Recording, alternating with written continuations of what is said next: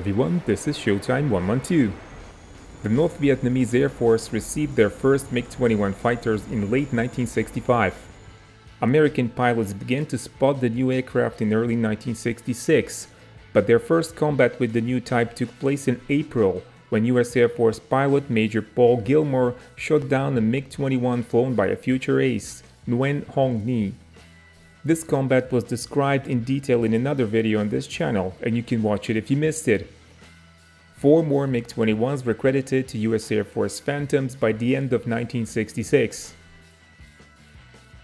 US Navy pilots on the other hand had fewer chances of spotting the new Vietnamese fighter, as it was mostly used over route pacs assigned to the Air Force. But they were nevertheless familiar with their tactics, which was usually based on slashing attacks from above and then quick escapes without much dogfighting.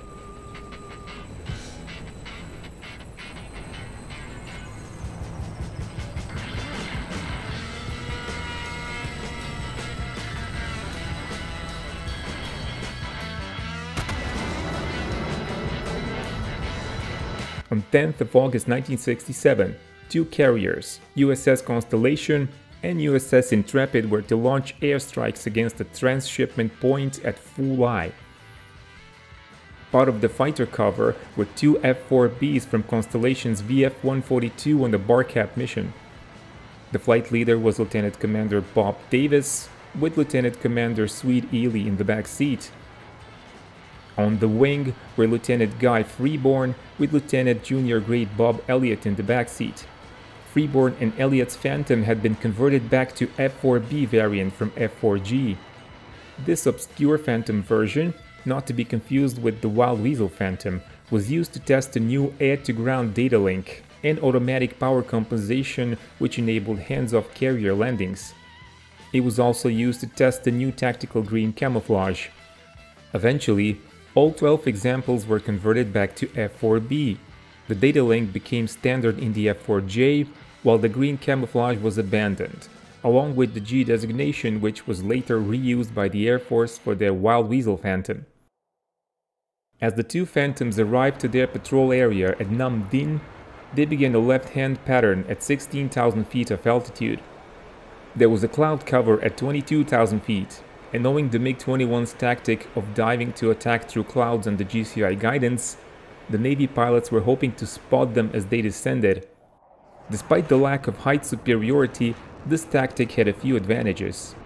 The MiGs could be easier to spot against the overcast, and as the Vietnamese pilots changed from instrumental to visual flight, they might be disorientated for a few moments. The Constellation strike group hit their targets at 12.30, and the two Phantom crews could see some of the action. As the strikers were pulling off, the Phantom flight heard several MiG warnings. The two aircrews began turning their heads, hoping to spot the interceptors, but they were nowhere in sight. They then switched to the frequency of the Intrepid strike and attempted to contact them, but there was no answer. Only later they found that the entire Intrepid strike was cancelled due to bad weather. As they were turning back north, the MiG calls were getting more specific, and the two RIOs were plotting intercept courses based on them. Then, a warning called the MiGs at 15 miles directly behind the Phantoms, and in a good position to bounce them. Davis broke hard left, and as Freeborn was following, he spotted two silhouettes.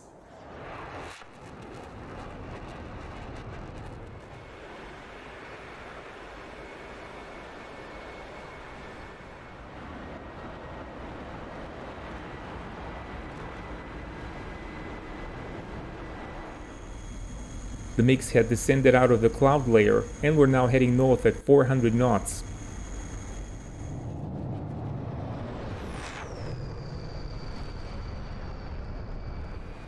The Phantoms were still in a hard left turn, maneuvering behind the MiGs which were unaware of them.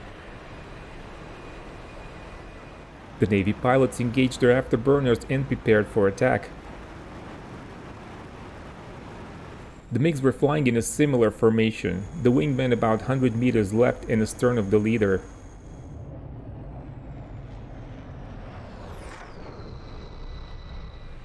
Lieutenant Commander Davis called the left MiG, and as his RIO achieved the radar lock, he pressed the button for a Sparrow launch.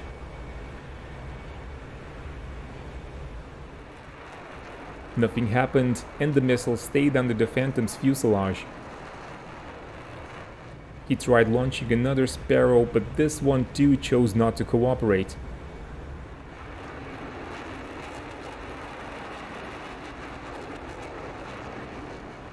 Lieutenant Freeborn chose the AIM-9 Sidewinder as his first weapon. His RIO was very inexperienced, and he preferred to rely on a weapon he could use himself.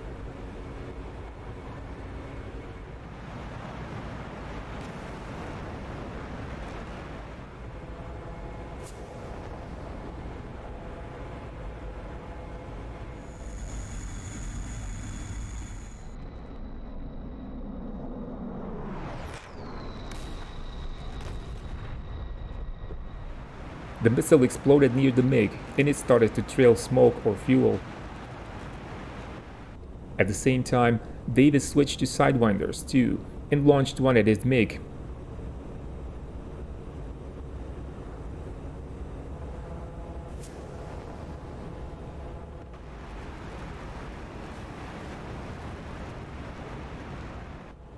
The missile exploded, but just like the one launched by Freeborn, it didn't destroy the MiG, which kept flying. Davis launched another one, but it went ballistic and missed. The MiGs now realized they were under attack, and they began to leave.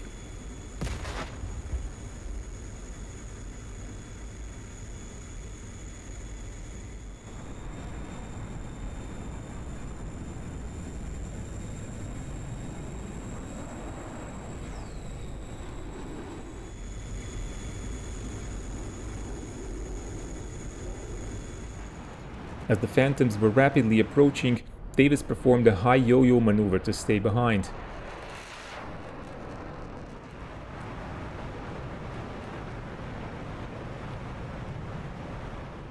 As the MiGs changed their relative position, Davis was now behind the Freeborn's MiG.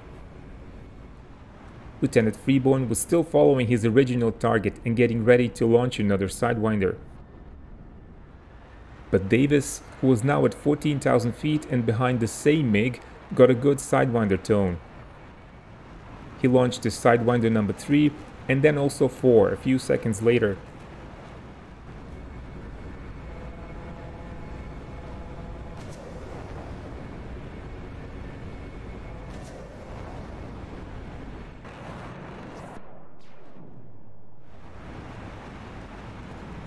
This time, both missiles hit.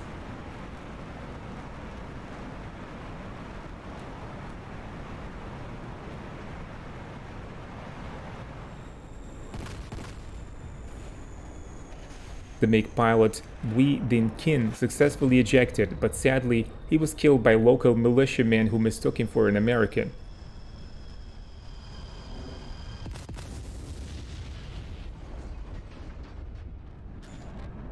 Lieutenant Freeborn was unpleasantly surprised to see his target shot down by his leader. The mission tape registered his exclamation, the bastard killed my MiG.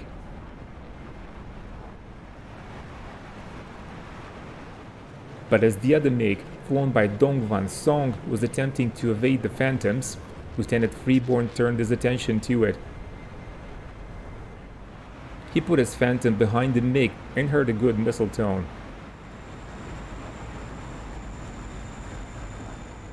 He squeezed the trigger, but nothing happened.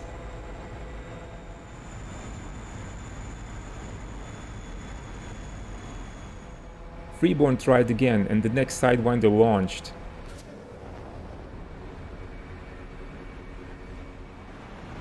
It achieved a direct hit, and the MiG spun towards the Earth.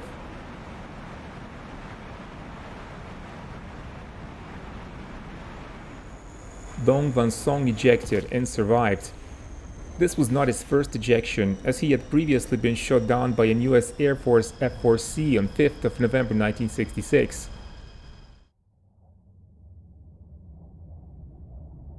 By the end of the war, he was officially credited with four victories, one of them shared.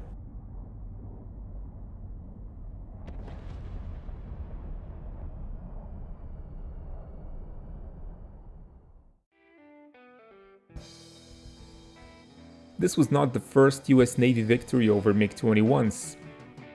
The distinction goes to an F-8 Crusader pilot who accomplished that on 9 October 1966. But this was the first US Navy Phantom victory over the MiG-21. The Navy pilots demonstrated good tactics, but poor weapon reliability deprived them of quick kills and brought the risk of a prolonged dogfight. No less than 9 missiles were launched, or at least launches were attempted by Davis and Freeborn to achieve 2 kills. Lack of internal gun was again demonstrated, and that problem was never solved by the US Navy on their Phantoms, unlike the Air Force which introduced the gun-equipped F-4E.